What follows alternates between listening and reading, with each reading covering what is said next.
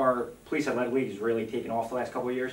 We now uh, reach out to about 1,200 different uh, youth or juveniles.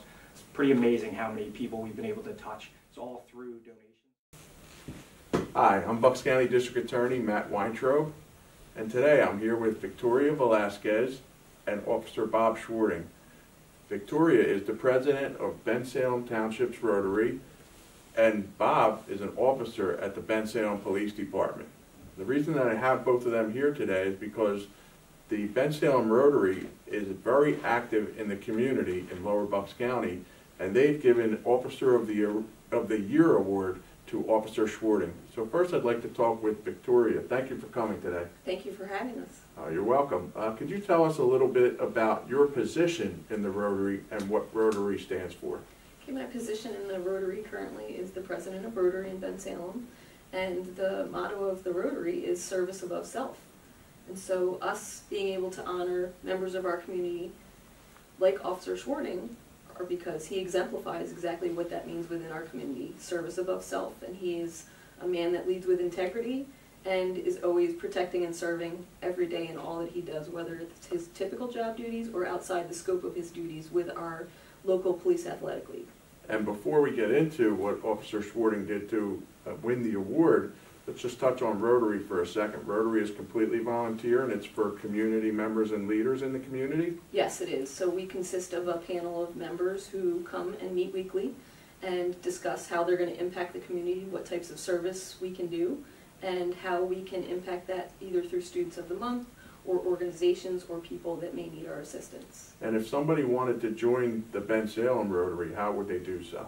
Um, they could look us up on Facebook under Bensalem Rotary, or else they could connect with me, Victoria Velasquez, on LinkedIn, and I can lead them to the direct way that they need to contact us. Okay, that's great. You're always looking for good members, I'm sure. All the time that we can. Now let's focus on how Officer Schwarting was selected to win the Officer of the Year award. What type of criteria did you look at?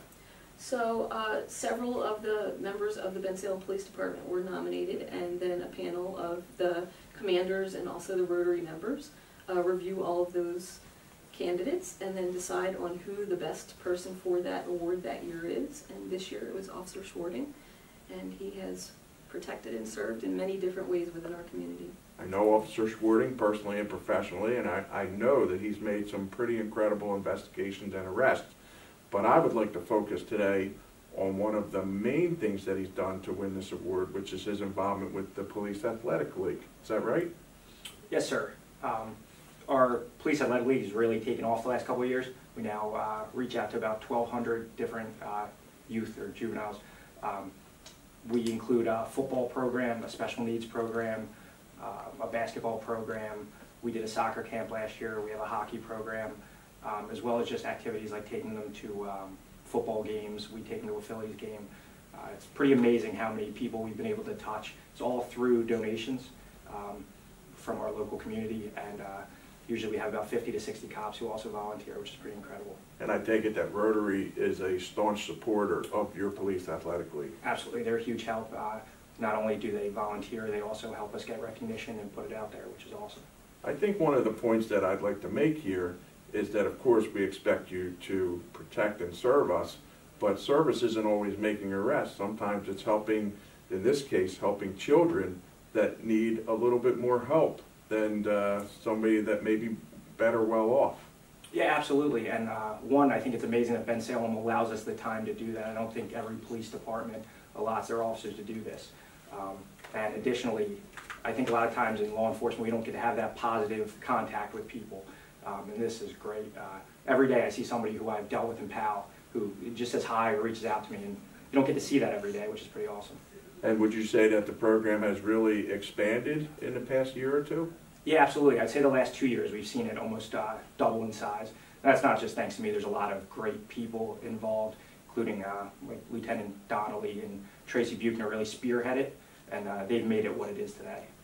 Well, I'd like to say thank you on behalf of the entire community, but certainly people need to know that their law enforcement are out there working behind the scenes every day, not only making arrests, but trying to make the community a better place through prevention and education programs like PAL. Your award was well deserved. Thank you, Officer Schwarting. Thank you, sir. Appreciate Uh, it. Thank you, Ms. Velasquez, Thank for you. being here. Thank you. Uh, This has been Bucks County District Attorney Matt Weintraub, and I've been joined by Bensalem Officer of the Year, Robert Schwarting, along with the Bensalem Rotary President, Victoria Velasquez. Thank you, and be safe.